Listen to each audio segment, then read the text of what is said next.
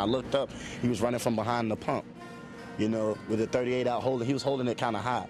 UC football star Mardy Gilyard robbed at gunpoint. News 5 broke the story online. Now hear the wide receiver tell his story on camera.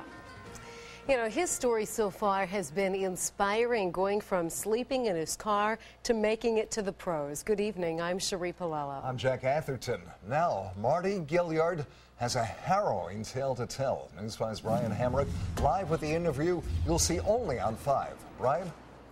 Well, Jack, of all the great memories that Mardy Gilyard has of this area, there's one that he had just assumed forget, and it happened right here at this BP just off of Jefferson, just near the UC campus, where a thief stuck a gun in his face.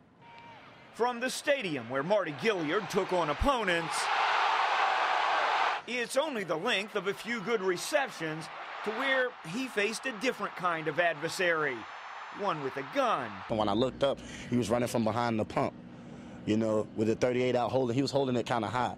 We caught up with Mardy, still disgusted with the man who held him at gunpoint and robbed him. And so I'm trying to keep eye on him and keep eye on the gun at the same time. And then I'm kind of stalling him. Like, I was like, come on, bro. Like, for real? Like, is this serious? He's like, yeah, it's serious. Give me everything. I was like, well, what do you want? It happened at this Clifton BP station on Jefferson around 9:30 last night. Mardy and a friend were robbed. He says there were two thieves. One stayed in a car. The other was the nervous gunman. Give me this. Give me that. I want money. I want the chain. Give me this. The gas station is right next to the UC campus. That's about 300 yards from Nippert Stadium, where the soon-to-be St. Louis Ram had too many good things happen for this to ruin his image of Cincinnati.